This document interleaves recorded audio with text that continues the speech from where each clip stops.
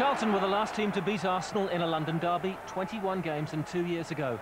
And Arsene Wenger's side were steady at the Valley until the 27th minute when Charlton got a penalty.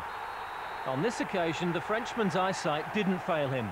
A gift he called it, as Matt Holland, not renowned for theatrics a la Pires or Van Nistelrooy, tumbled over the legs of Lauren. The stage was clear for Paolo Di Canio to turn his first Premiership goal for Charlton into a masterclass of mesmerising cheek. Arsenal awoke. Well, actually, Thierry Henry flicked his own turbo switch, dragging his team along in the slipstream. For 15 minutes, Henry ran the game. Alan Curbishley saw it. He asked his players to double up. But when Scotty Parker overdid the aggression, Henry could take aim again. The perfect free kick from Arsenal's top scorer, and now arguably their most important player, even when Patrick Vieira is fit.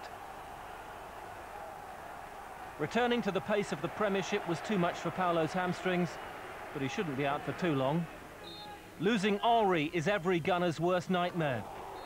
But that was as close as they got to rippling the net again.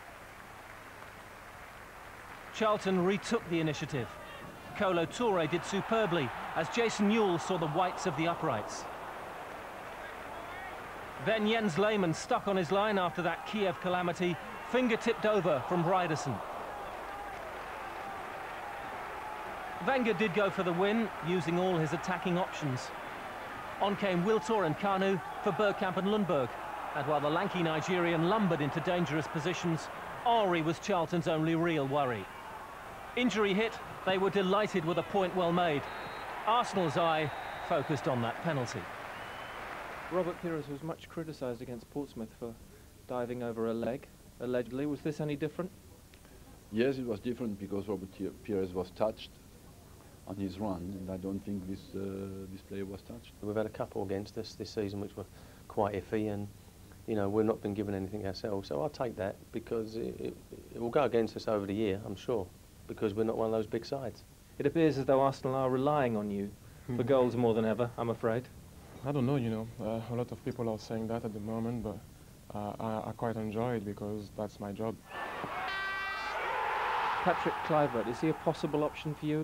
At the moment, uh, I haven't made any decision and uh, not to buy anybody, not to go for whom I would go if I would go for somebody. So it's too early to speak about that. If we can go all the season like that, you know, without playing a tremendous football and and try and still getting points, you know, I think that's that's that's the most important thing, and not maybe like play like great football and then at the end you don't get anything. Hmm, well, we'll get to uh, Arsenal and Chelsea and Manchester United. I suppose it's those three for the title of the whole permutations of the top three uh, shortly. But we'll just uh, try and clear up with the panellists uh, thorny issue of diving, penalties, etc. There's been a few more examples over the weekend. We'll start with an email from, uh, from Chris Boyle in Belfast. Uh, your poll, which uh, he refers to um, an ITV website poll today, indicates only 55% of those uh, writing in think that Matty Holland dived. If it was an Arsenal player, it'd be 100%. Well, I don't know about that, Chris, but, but if we start with this first example, Clive, of, of Matt Holland yesterday, how did you see it? penalty? Well, I, I, always go with my initial instinct in terms of seeing it for the first time, and I felt at full speed that Matty is expecting a challenge to come in from Lauren. I think he's expecting physical contact, and he he goes D over. He dives, basically. I don't think so, Andy. I don't think so, because I think... How can that not have a Clive? The thing is, that isn't full speed, to be fair. That's right, that is true. That is that, true. That's where there's a difference. Yeah. And Di, Di Canio Paolo at his best. It's incredible how often, yeah. at full speed, something looks like. Yeah, and the ref gets one shot at it. We yeah, know absolutely. that. He only sees it, he and he might not have a clear view of it, or whatever. At the same time, the game's a lot quicker than it was 20 years ago. The players are quicker, they're fitter. That is, it's difficult to tell. Mm. And, he, and, he's the only one. I mean, all the other Charlton players immediately appealed for it, but Matty Holland, as he tried to get up, there was no appeal from him whatsoever. So I, I, I think he knew that Lauren didn't try to play him, and he's gone down a little easily. Yeah. Now, Arsene Wenger, it seems, saw this one, which is revolutionary all by mm -hmm. itself, but he seemed to suggest that this was at least comparable and maybe more of a simulation, as they call it, than, than Robert Pires. No, I think Pires still wins it for me, I have to be honest. I mean, this is just a, this is a blatant dive. He puts his right leg in there and looks for the contact there, and down he goes. Player gets booked in the penalty. And that, that was so important because that, that cost, you know, Portsmouth a Yeah, this was 1-1 against Portsmouth. It turned out to be a draw that, that perhaps a famous victory Arsenal for didn't them. really deserve. Yeah. But, but I mean, are you looking to dive it? I mean, you, you guys know that anyway, diving in the box or Isn't whatever. it part, I mean, that's what the clubs and the professionals are saying. Well, look, this is part and parcel. Ali, know, Ali knows as well as I. I think if you know that there's physical contact coming or you expect it, Yep. that you, you, you're almost on your way before it actually happens. Mm. Now, the, the pace in which the game's played and the way it happens and the view that the referee gets is very difficult to call between one or the other. It's a Do, do you, thin line, not, Matt. you not think it's getting a problem now? Yeah, it's it just is, too it is. frequent. I mean, years ago it was the odd little one, but now, I mean, we're talking about it every Yeah. other day. Every Well, see, week. the, the Yeah. Pires one there's different, Matt, because I, I know as a centre forward, I would sometimes invite the challenge. If I could, if I could reach the ball before the defender, I would, I, I would sometimes I would wait till the defender was about to make the tackle. Then I would take the ball, knowing that the defender would take me. Now that, that's an honest. I, I don't All right, know well, both of you, well, all of you, have a look at the two incidents that came about in the, in the, the game on Saturday between Bolton and Birmingham. One for each side, both booked for diving by the referee. I don't know how you all see this one. David Dunn in the first instance, he was booked uh, for this. I think that's a pen. Again, I- at full I speed, agree. it's quite different, isn't it, Andy, to, to slow speed? If he doesn't try to make such a meal of it in the current climate, if he just hits the floor, it is a pen. I mean, Campo has done very clever there, turn around asking for a yellow card, Yeah. running the ref. He knows he's tripped him, Hmm. but David Dunn's made a meal of it. And this one, Stelios, If, if he goes down when contact was made, I wouldn't have queried it. No. But he waits for a second, his foot goes back down, and then he throws himself. Now, I know it's easy again on the replay to see it much more clearly, but the referee on each occasion was pretty close to it. And I, I mean, I, I think he's right not to give both, because they're both- both exaggerated. I mean, in a way, you've got to give... theatrical, aren't they? Yeah, you've got to Yeah. give the referee some, some credit. I mean, they're getting off stick. Yeah, but At the full speed theatrical is actually in the spirit of the game. it's a foul. Yes, indeed. And but in the spirit of the game, the theatricality of those dives probably did the These players been a happening- disservice. This has been happening for years and years. These, this scenario has been happening when we were playing. All of it, you know, it's been happening for a well, long, long time, I mean, Matt. Jim was saying, and Ali was saying it's got worse and worse. I'm not so sure that's true. I mean, if we, we've pulled out a couple of old examples. Oh no! Well, I'm, I'm, I'm afraid to touch Ali in case he goes down here. Yeah. You know. Now, the, it, was, it was just the start of colour TV, Yeah. and it's, uh, this is the 1984 Scottish Milk Cup final, Celtic Rangers. now, have you ever seen, Do you get shoved in the back I tell you. short of a sniper in the stands, he No, couldn't have made more of a Punched meal you of in the stomach at the same yeah. time. Big, Big Roy Aitken, that was that was a, that's a stone wall as it gets. That. I'm telling you. Oh, I knew you'd But- say that. Bigger nudges in A the great back of the penalty. keel. Then a wee- then one-two with the goalkeeper. tell you. Yeah, yeah. There should have been a yellow for the dive and another for the haircut. I'm, I'm accepting it was a softer one. Now, it, very soft. Now, Clive, of course, there's no way you're getting away with this. We found an absolute perler from Mr. Allen. Just talk us through this. We believe this is Man City against Luton. It couldn't have been me. I didn't play for Man City. Oh, It's a look at that nasty challenge. Oh, and I waited till I got in You've the tripped box over your well. own boot No, but outside the box. looking at the ref. Looking at the ref, begging for the... And then you've got the audacity to score from the You've spot. hacked yourself down there a yard outside the box. I never tried that one, Clive. To be fair to me, You should have done it. Worked. no Yeah, mistake from the penalty, of course. Exactly. I think there's a little bit of a badge kiss coming up as well. Yeah, there you go. Oh. See, hey. You see? Nothing changes. You're a disgrace, the pair of We you. are actually. Yeah, yellow cards. Me and Jim never used to get in the Well, box. we looked particularly for Jim. We found a bit, found a bit of old footage of him getting a nosebleed on the halfway line. But that was as close as it ever got. Lots of those. Indeed, indeed. Now listen to the serious stuff. Well, I mean, not that the diving isn't serious, but to the title chat. Um, again, for Arsenal yesterday, having gone behind, it's Thierry Henry and this reliance on him being the only, it seems, goal scorer. It seems to be a problem, particularly in Europe now. It seems to be an issue for them domestically as well, Jim. Well, there's no doubt others have got to start pulling their weight in terms of contributing to the goals. I think if you wait a little bit, Pires really gets back up to speed with his fitness, and Ljungberg, who's just Yeah. back in the side, I think they will contribute. But what about this yesterday? I mean, he, he can only just keep doing this, Thierry Henry. It's the only one place he could aim at, that top corner. Dean Kiely's on that side, thinks he has it covered as well. That is absolutely sublime. And I think- very few can do that. I think without him, they they don't win the league. Hmm. I don't. I, I think if they lost Thierry Henry for ten games, Particularly now Vieira's out for the we hear three, I four think weeks. irrespective That's of whether, man they miss as well. I think irrespective of whether Patrick, but I think Patrick's a massive player. Hmm. But I just think that guy is everything to them. Yeah. I think without him, they lose such a such a threat. It's incredible. I get United's financial crisis later in the hour. But now to Highbury, where Arsenal needed a penalty shootout to beat Rotherham. Darren Byfield forced the game into extra time with a 90th minute equaliser. The game went to penalties. Arsenal won it 9-8. Well, Arsenal fielded their reserve side, but that didn't prevent them from taking the lead with an 11th minute goal by Jeremy Aliadiere. Francesco Fabregas became the youngest player ever to play for Arsenal at the age of 16, and he came close to making a scoring debut with that effort. But Rotherham sent the game into extra time thanks to an 89th minute header from Darren Byfield. That's his seventh goal of the season. The Rotherham were then reduced to 10 men when Michael Pollitt was sent off for handling the ball outside his area, although he claimed it hit his head. So Rotherham down to 10 men, but they held on for extra time, the game going to penalties, and amazingly it was still even after all 10 players had taken their spot kicks. Then Chris Swailes missed for Rotherham. In fact, the goalkeepers both took kicks and both scored. Wiltord, who missed his first penalty, though, ensured Arsenal's place in the last 16, leaving the final score 9-8 on penalties. Um, Arsene, you wanted your young players to have an experience tonight, and they certainly had that. They had all of the experience you need, yes, and I think uh, you cannot find a substitute to that because they they had uh, everything you can find in a top-level game, and they did well. And the game was very tight with uh, them coming back when we thought it was won, and uh, then the penalty shootout. It was sensational for them, and it's a great experience. And Rotherham gave absolutely everything, everything until the last minute, and it was an interesting game. Did you feel when the second goal wasn't coming that Rotherham may get an equaliser? Well, you always fear that, and uh, especially with the lack of experience we had in the side tonight. But uh, I think uh, certainly tonight we had the youngest uh, Arsenal side ever who has played in an official competition because uh, we had uh, boys of 16, 17, 18 years old in there, and they have done extremely well. And it's a great experience for them. what did you? Well.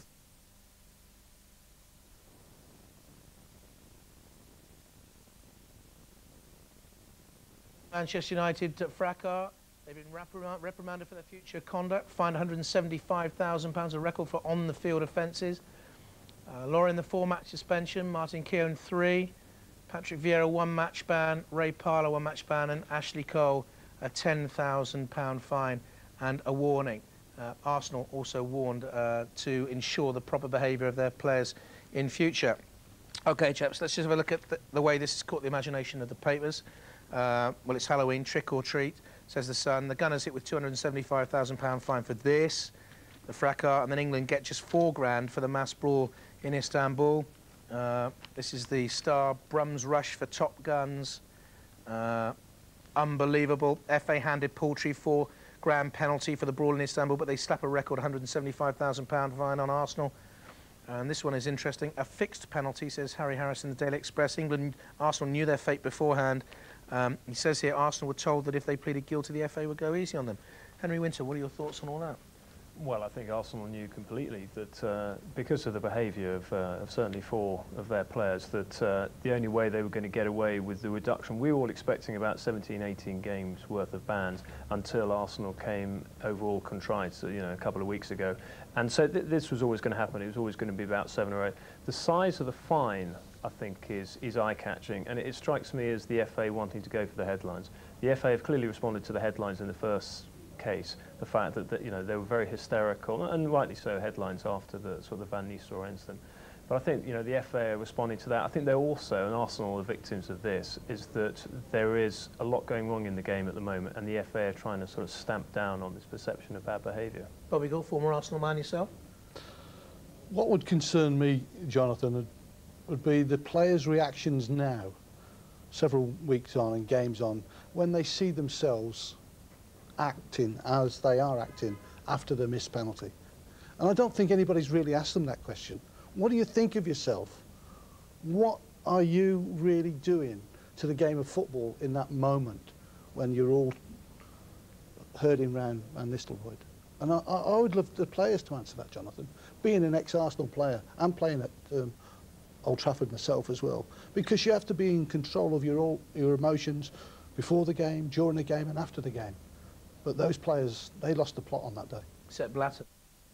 It's over. Well, it should be over. £275,000 worse off. Arsenal and their players get the message. They may not like it, but the FA has had enough. What happened yesterday happened yesterday. I do not want to comment on it because I wouldn't be very kind. A four-match ban for Lauren will hurt. There's no obvious experienced alternative. But Martin Keown's loss will be easier to cover. Patrick Vieira may still have been injured anyway for the game he misses. Ray Parlour's playing well, but replaceable.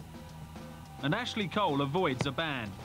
So unless Arsenal's injury list grows, the FA's verdict won't ruin the title race, but should set a strong example. Not everyone agrees. No, I don't think it will be an example.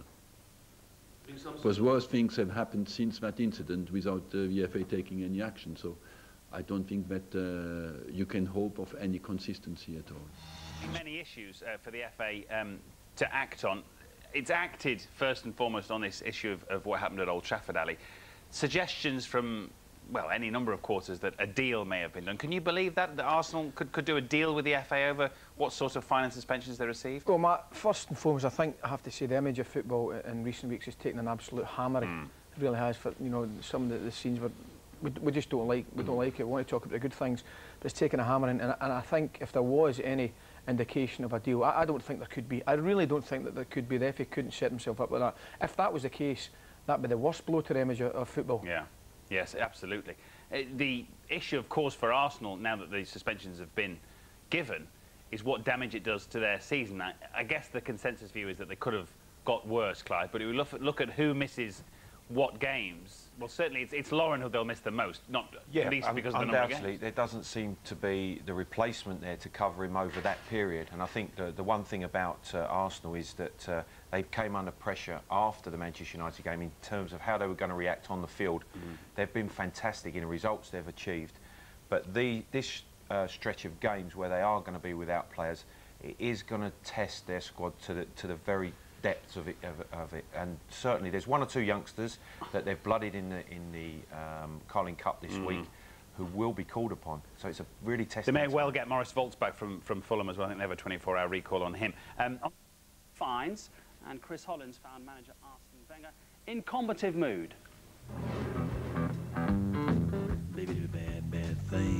Over the top or too soft? There's been a mixed response from the British media to Arsenal's record punishment, but as for the club and its players who've had to fork out nearly £300,000 in fines this week, and with suspensions on the way, it's still a bitter pill to swallow. Some people are very happy, but you got harshly punished, and some less, and uh, but, but we cannot influence that. Do you think you'd be made an example of because Arsenal is such a big club? I don't think they're picked on. I, uh, I think uh, this story is over, and what they've done, they've done. I don't know, but it's down to the FA to explain what they do and why they do it. We have just to deal with it. Ironically, this week, the FA were in trouble themselves for England scrapping in Istanbul. But their fine from UEFA, just £4,500. For a real fine? But uh, you talk me about, ask me about consistency. That's why I say uh, consistency is, uh, is impossible. Did you put that question to the Football Association about consistency? No, it's not down to... Uh, listen, I'm there to defend my team and uh, I'm not there to make justice it's down to the FA to get respected for their decisions. It's not down to me. I'm just there to, to defend my players and my club which I will always do. Will there be a different approach to the way the team set out in terms of aggression, the way that the teams play? No, why? We had uh, we, have, we have the best record in the league since the beginning of the season. So why should there be a different approach? We have no influence on the punishment, but we have a big influence on how well we respond to the situation. And that's what we want to show, how strong we are and how united we are and how much we stand behind the players who have been uh, punished. Well, perhaps it's not surprising that Manchester United manager Sir Alex Ferguson has had something to say on this. I think Arsenal will be delighted with the, the decisions. Uh, I think that's without question. And, and I'm, I, I reading the papers this morning, they did a deal before in India, and, and I think that was a suspicion right through the country. There was a deal being done. But it's disappointing to read that kind of thing. But for us, we win titles without having that procedure. We don't have that benefit, so we'll go on carrying on the way we do. So seconds out, round 55. Oh, it's, it's unbelievable. I mean, they, they definitely sent him to the doctor to, doctors if he wasn't going to have a comment about Arsenal. I think generally, I think uh, the, the treatment and the punishment is right. Uh, I don't think I have any argument with that. We know about Mark Palios and his, his uh, new reign now as, as chief executive that you know he's going to be strict. The, the way football is at the moment as well, it's, it's full of bad stories about footballers and everything. They've still got the Rio Ferdinand affair and, and one thing and another and the other stories. So I think generally the punishment's about right, Mark.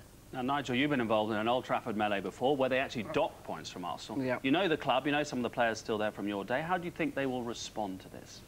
Well, uh, they'll respond as professional players, really. They'll just um, forget about the, the incident. It's now gone. And they'll be concentrating on today's game and getting maximum points from that. I mean, uh, they can't change, you know, the bans that they've, they've been put in place. And, uh, you know, they'll accept those. They may be unhappy with them, but they will accept it and move on. Does Arsene Wenger use a bit of siege mentality himself? Does he use a bit of the everyone hates us, let's go and show them differently, or not really? No, I don't think so. I think um, what Arsene Wenger does do, and everybody knows it, is he defends his players to the hilt. And uh, no matter whether you think he's right or wrong, he supports his players 100% because at the end of the day, he knows those players have got to go out onto the pitch for him and perform to the highest of their ability.